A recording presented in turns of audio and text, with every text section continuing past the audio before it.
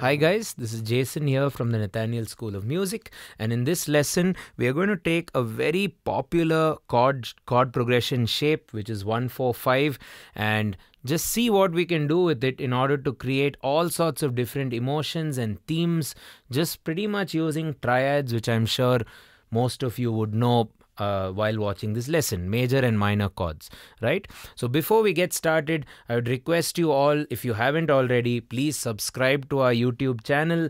It'll help us greatly. And also turn on the bell icon if you haven't already for all the notifications and new lessons. Okay let's get started. So this entire lesson is built around the 1 4 and the 5 chord progression.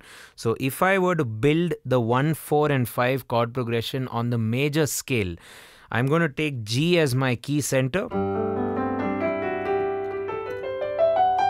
In other words, G major. So if I have to build a 1 4 5 chord progression using the G major scale, here's how it's done. You take the 1, which is G, you take the 4, which is C, and you take the 5, which is D, and you'll realize that all these chords are going to be major chords.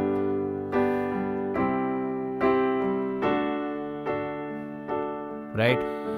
G major, C major, D major, and used for a lot of songs.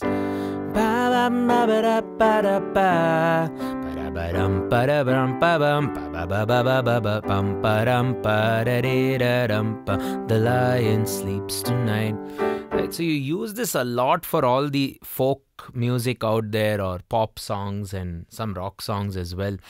So let's go a little bit beyond that in this lesson using some small modifications and, and just sort of maths really. Okay, so you have the 1, 4 and the 5 as your base. So that's your root. Always go up a perfect fourth and then go up a perfect fifth. So if you're not aware of that, it's G, C and D. Now when you're on G, you could play either a G major chord or a G minor chord.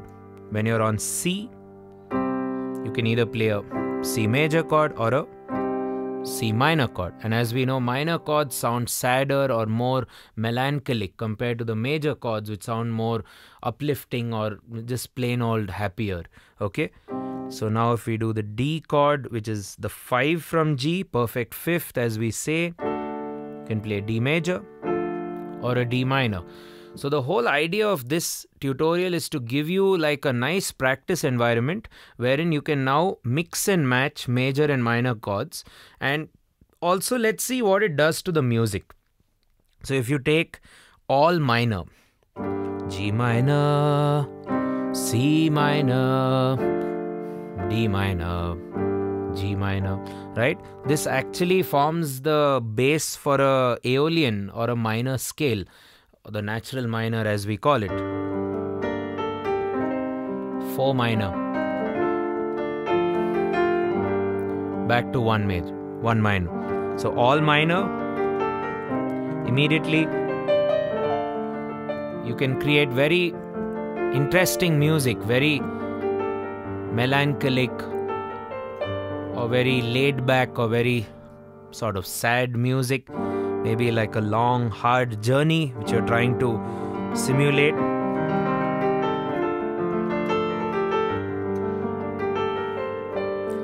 So, what do you do there? Earlier we did G major, C major, and D major. Now we're doing G minor, C minor, and D minor, just making the whole mood very somber, so to speak. So, yeah, and now let's look at some other permutations. What about 1 minor, 4 minor, and 5 major? So, that'll be G minor, C minor. I'm using inversions to make the change more sonically pleasing and also easier for the piano. Uh, we link up our chord inversions series, which I'd advise you to watch if you feel you're not so good at inversions. So, G minor, C minor, and D major, which is a very strong uh, res resolution back to the G minor chord. Da da da da da da da. And this will work really well for the harmonic minor scale.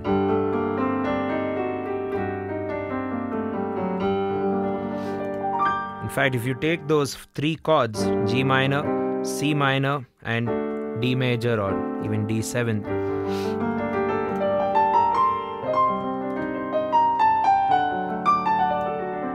It'll work really well for any music you want to create or any melody you'd like to create on the harmonic minor so as you're as you're probably figuring out by now these are pretty much all the permutations of the 1 the 4 and the 5 chords so you take one major or one minor, four major or four minor, or five major or five minor.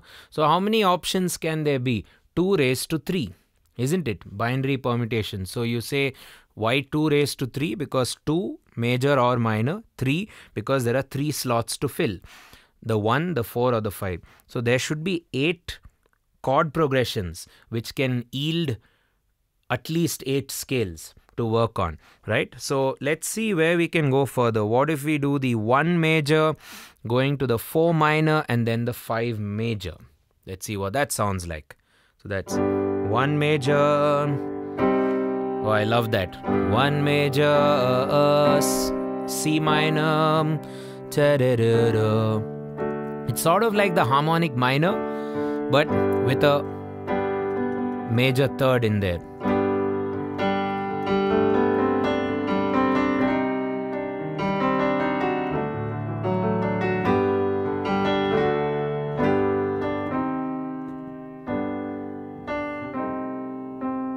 Beautiful sound. That's your harmonic major, I guess. And then, yeah, if you do one major, four major, and five minor, that will give you another exciting set of options. So you have G major, C major, da da de, do do do do, da da de.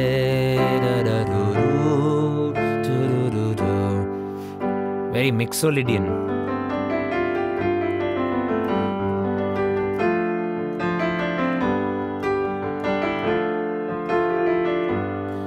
I'm not saying you can't play other chords, but just start with this 1, 4, and 5 and look at the different options we are able to figure out, right? We are not only gaining new chord progressions, you're also gaining new melodic options because each of these unique chord progressions also yields a new scale, if you think about it, right? Obviously, because it goes beyond the major domain. So you have the Mixolydian, which is okay which is 1 4 uh, 5 minor and back to 1 major. What else can we do? 1 minor 4 major 5 major. That's going to sound fun. G minor 4 major and 5 major. This will form like a melodic minor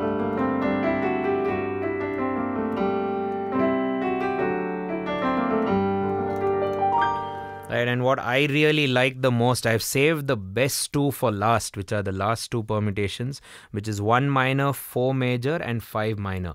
That that creates a very brave epic kind of uh, vibe. So you do g minor and that's c major. Just those two chords are quite quite sufficient actually to, to give you a lot of ideas and a 5 minor.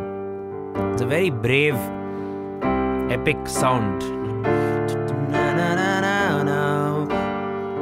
Or from the perspective of the writer, I guess you could say you're writing, it's like a one to many. You're trying to you know bring talk to many people as opposed to a love song where you're just addressing one person right? So there the normal major 1 major 4 major 5 chords will work.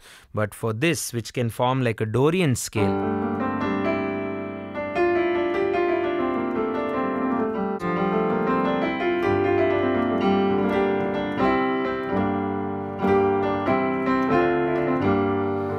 very brave and epic kind of a sound. Yeah, and then another would be where you take the one major. Then you go to the four minor. And then you can go to the and back to the one major. So that's major 1, minor 4, and minor 6th. Major 1, minor 4, and minor 5 as well. This is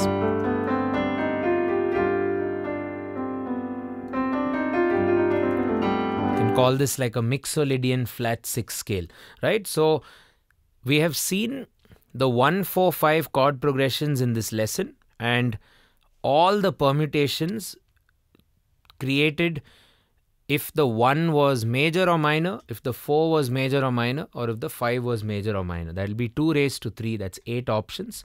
So we have 8 scales at the bare minimum eight chord progressions, actually a lot of chord progressions over these 145 options right so ho- you, hope you guys found this tutorial useful and i hope you can make some nice music using these concepts and uh, if you like the lesson do give it a thumbs up do subscribe to our youtube channel and please turn on that bell icon for notifications and share the lesson.